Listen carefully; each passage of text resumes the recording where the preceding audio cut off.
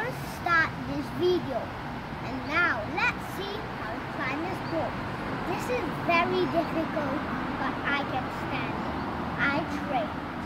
I know. So let's see how to do it. First, go on tippy toes.